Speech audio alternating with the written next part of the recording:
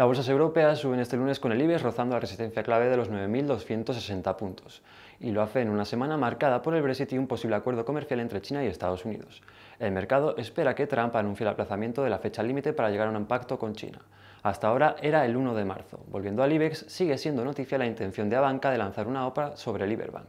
Por su parte, Mafre estudia comprar una participación mayoritaria en Caser. Finalmente, los futuros de Wall Street vienen con fuertes subidas ante ese posible acuerdo comercial entre las dos mayores economías del mundo.